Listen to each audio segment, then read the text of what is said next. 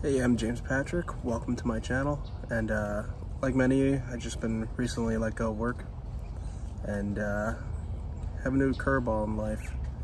But uh, I'm excited. New challenges. I'm going to be starting my own business, moving out of town. So uh, I'm going to bring you guys along for the journey. So thank you.